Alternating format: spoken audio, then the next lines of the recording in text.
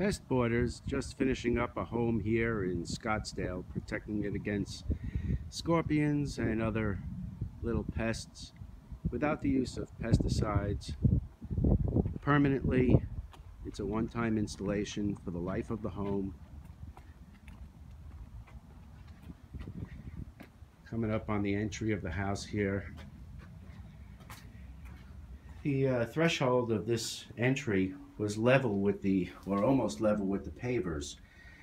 So we needed to create some height to be able to run our barrier or border across the front of the door.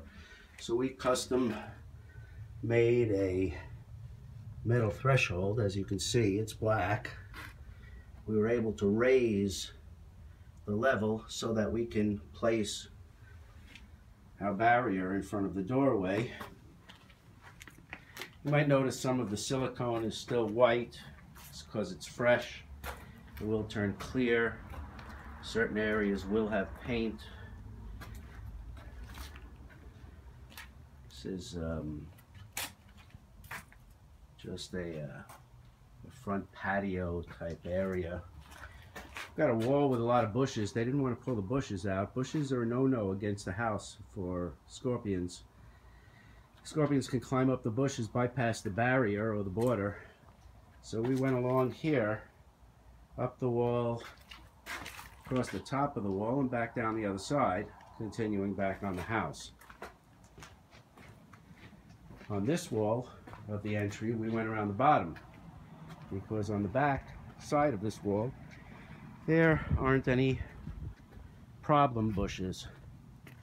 You need to to be sure all your shrubbery is trimmed from the house, not touching the home, because that'll give away for scorpions and other pests to bypass our barrier.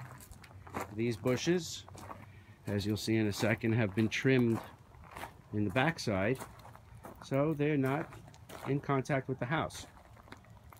Along the bottom, this is a block house, not a stucco home. It's an older home this wall here we came up went across the top. So anything that might be crawling on this wall cannot get in contact with the house. We'll go around the the back side they have a double gate here. A little sunny here so the photography might be so-so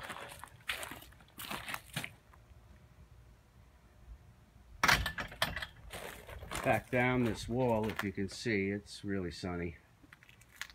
And we're about a uh, about 12 inches up on this block wall, coming down the long side of the house.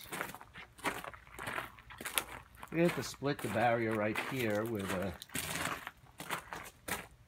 fence attaches to the home. They just moved in, or they haven't moved in yet. They will be moving in, and they're going to make some changes.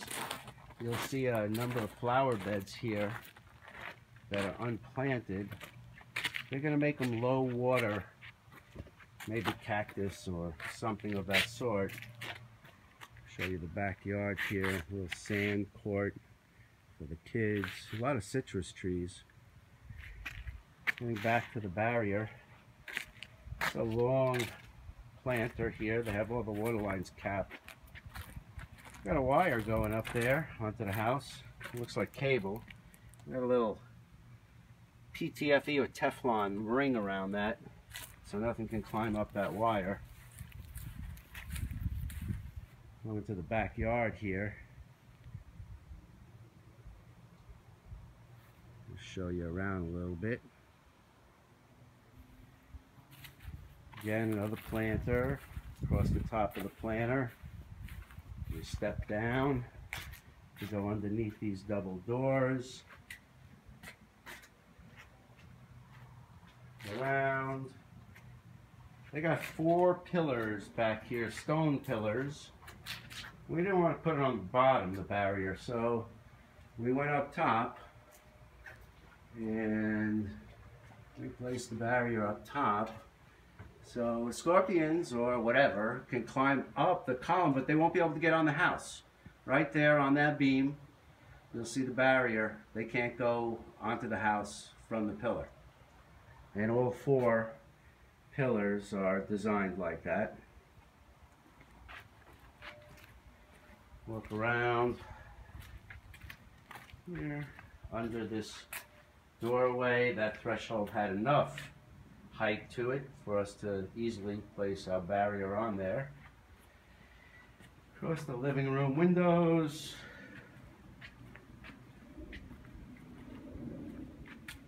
Again, you might see some white silicone. Um, that's due to it not setting yet.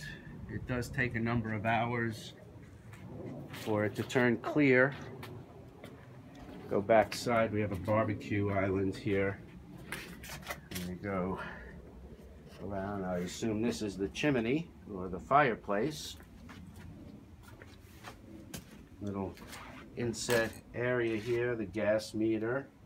Any wires and pipes, as you can see, have rings around them so that nothing can climb up onto the house via a pipe. Here we have to do a little fancy fancy work because of this conduit. So we couldn't put glass over it, so we put a ring of PTFE and aluminum combination around that.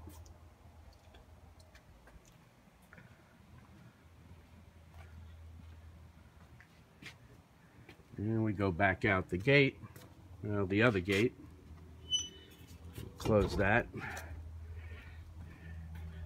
Go up that wall and back down, around, and into the garage. In the garage, we used polished aluminum. We do that for two reasons. One, it's less costly for the customer just as effective as the glass barrier. Two, we can't use it outside of the house because it's silver. And I don't think HOAs will be too keen on it. And there's also something called galvanic reaction.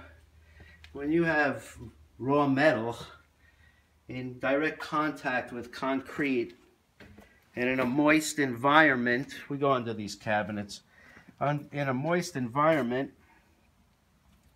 um, the metal tends to uh, corrode. So we can't have that. We come back around to the front of the house. We stretch here in front of the garage.